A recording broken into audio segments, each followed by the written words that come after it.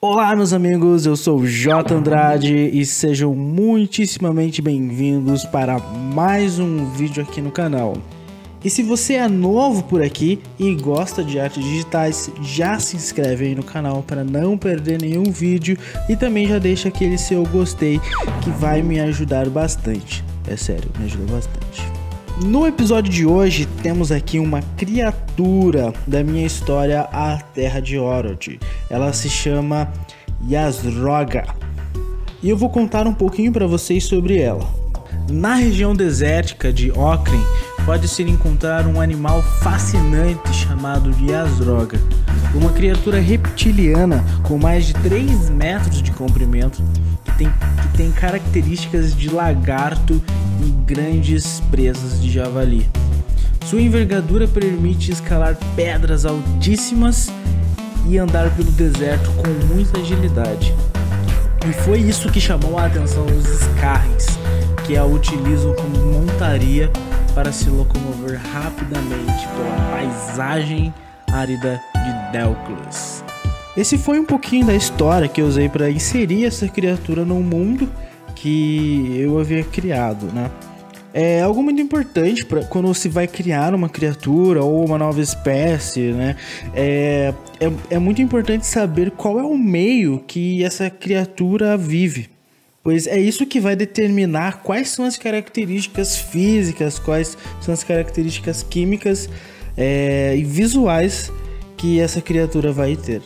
Como podemos observar na natureza, os animais podem gerar diversas soluções e estratégias para conseguir sobreviver no meio que eles foram inseridos, desde tamanho, cor, é, se possui veneno, pelos, penas, chifres, asas, nadadeiras e por aí vai. Tudo isso são respostas e adaptações que o animal desenvolve para conseguir viver nessas condições que, que ele foi inserido.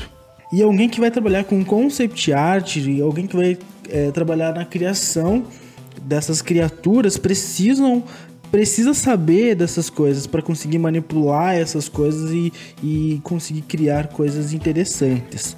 É, tem algumas séries e filmes que eu sou bem fã que trabalham muito bem com isso. Que são é, o Stargate, Star Wars, Star Trek. Eles trabalham muito legal com essa questão de, de criação de criaturas e até outras raças humanoides. É, não é por acaso que essas três séries têm o nome de Star no nome, né? Porque quando a gente pensa em vida fora da Terra, é, temos que imaginar como essa vida se formaria, como, como essa vida se desenvolveria em situações extremas ou situações semelhantes da, da Terra, ou até mesmo semelhantes é, situações completamente diferentes da Terra. E para isso a gente se baseia em como a vida se formou na Terra. E com isso a gente pode combinar elementos para criar é, uma gama de, de universos possíveis e criaturas possíveis que vivem nesses universos. É, por exemplo, eu sou muito fã, né, como, como eu disse, da série Star Trek. E agora eu tô acompanhando essa nova série do Star Trek, que é o Star Trek Discover. É bem legal, tá bem interessante. E nela tem as criaturas chamadas de Klingons, né?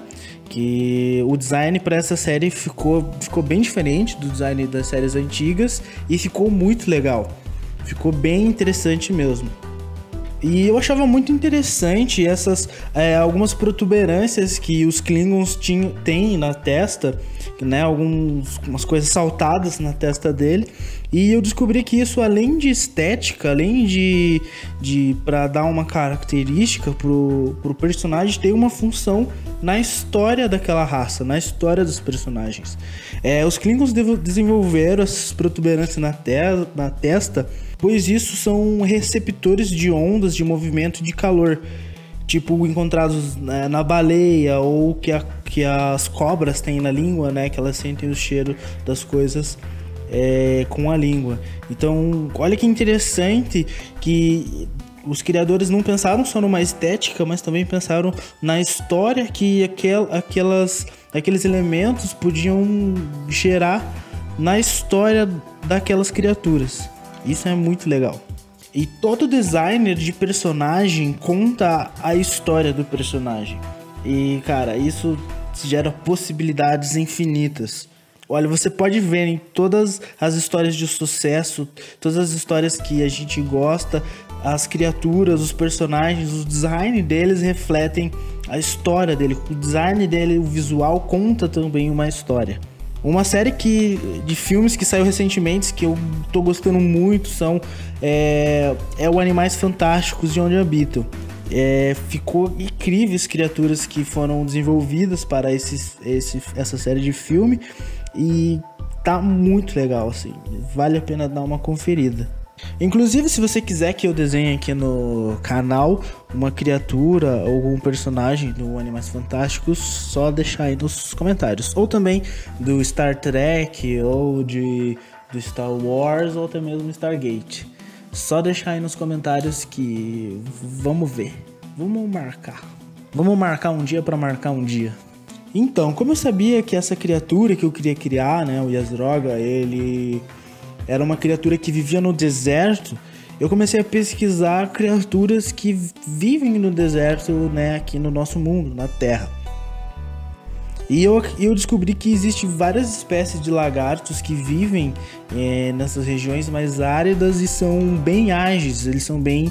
são têm uma locomoção bem interessante. Então eu combinei algumas características desse lagarto com algumas características de javali, porque o javali ele tem é, uma estética bem interessante que, que dá, pode acrescentar agressividade né, com as presas e coisas mais pontudas, retas para o, para o design do, da, da criatura. É, e quando chegou no ponto que eu gostei, pois não, não é de primeira que a gente acerta, né?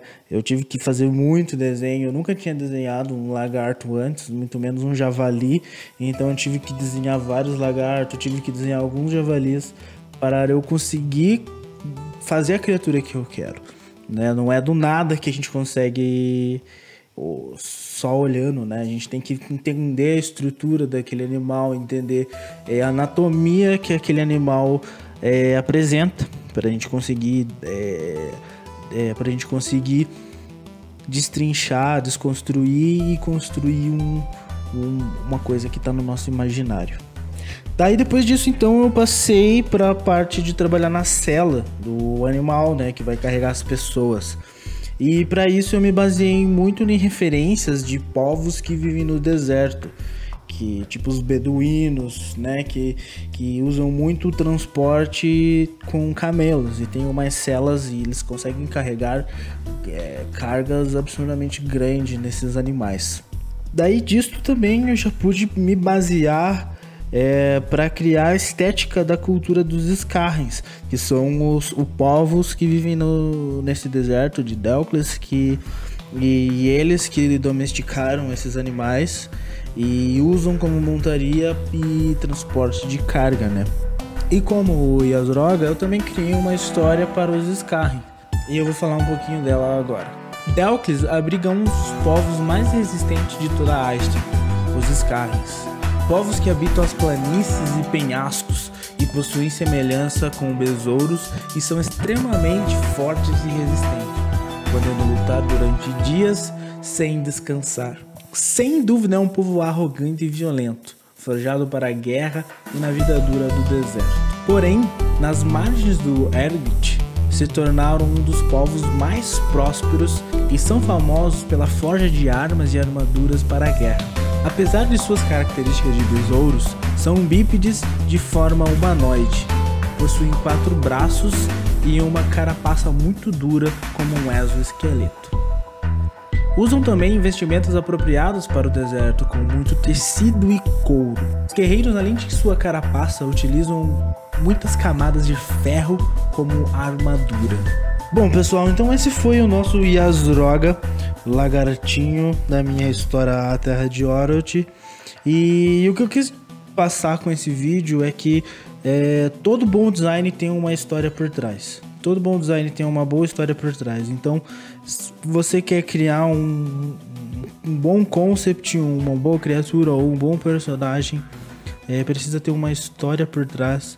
Você precisa saber que lugar esse personagem vive, esse, essa criatura vive, para você conseguir é, criar os elementos visuais que vão ser é, apresentados nesses, nesse concept. Então é isso, se você gostou desse vídeo, já deixa o seu gostei, vai me ajudar bastante. Se inscreve no canal, é, compartilha se você puder, vai me ajudar bastante também a divulgar esse vídeo. E comenta aí embaixo aí qual série dessas séries que eu falei, qual série você mais gosta, se é uh, Star Trek, Star Wars, Stargate ou Animais Fantástico. E é isso. Muito obrigado pela sua presença, pela sua paciência e falou!